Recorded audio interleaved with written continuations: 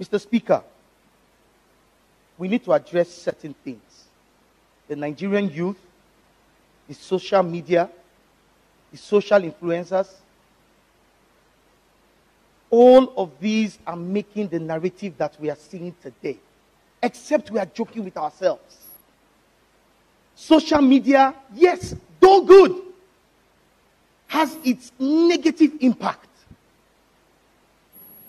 Let me first thank you for condemning the wanton killings and carnage that happened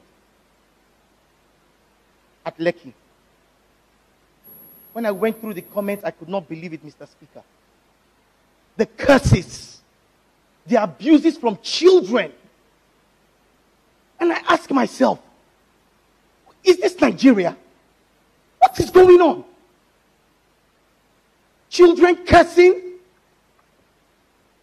people having the effrontery to enter an Oba's palace, hold the staff of office.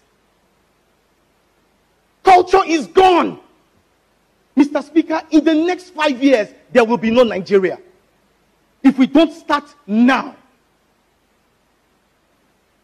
the youth is not only those who do the peaceful protest, those who have looted, who have destroyed lives, they are youths as well. Mr. Speaker, pregnant women went into malls, and went away. When shall we change this narrative? I put it to all the celebrities out there, all the motivational speakers. This is the only country we have. The wealthy will go.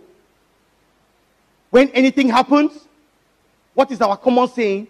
We die here.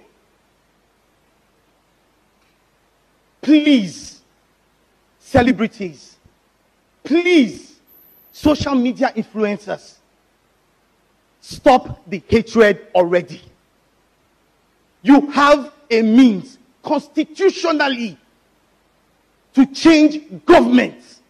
It's called your P